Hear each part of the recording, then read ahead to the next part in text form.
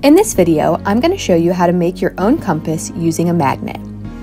Take a pair of wire cutters and use them to cut about a 1 inch straight piece off of a large paper clip. This will be the needle of your compass.